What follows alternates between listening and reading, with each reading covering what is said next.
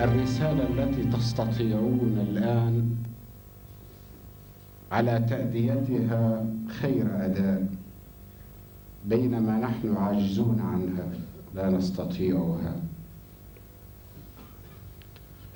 الرسالة الأولى التي تستطيع أيها الجريح المكرم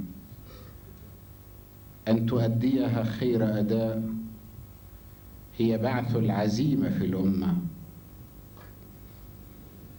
أنتم تعرفون جيدا أيها الإخوة أننا عشنا تاريخا طويلا من الجهاد وتاريخنا الحاضر تاريخ جهاد وسيبقى مستقبلنا مستقبل جهاد حتى ظهور الإمام المهدي عجل الله تعالى فرجه الشريف.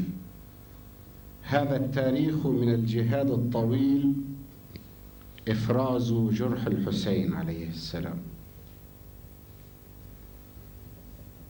إفراز جرح أبي الفضل العباس.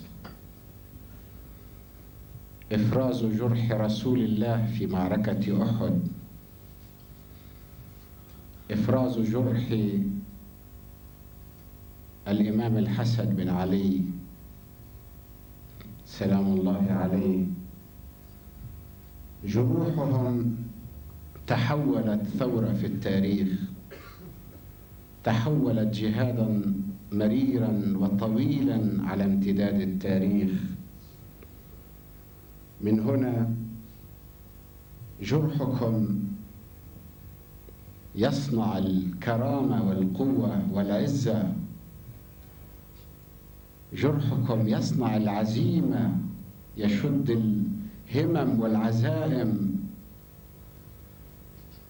ولذلك اخرجوا على الناس بهذه الرسالة بادروا إلى الناس بهذه الرسالة ليرى الناس جرحكم وليروا إلى جانب جرحكم مستوى عزمكم. حين ذاك سيشتد عزم الجميع وتنطلق المسيرة كأفضل ما يكون.